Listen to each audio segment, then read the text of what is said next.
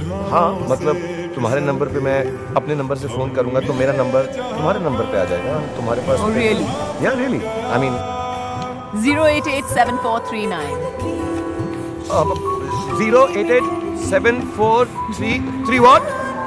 nine nine okay I like nine